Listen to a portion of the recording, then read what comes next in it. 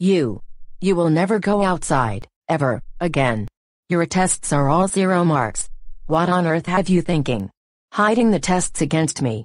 Hey, Ms. Nobi, what do you think you're doing?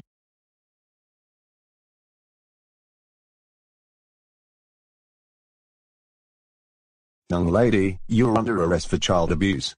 You need to remain silent at once. Get in the police car right now.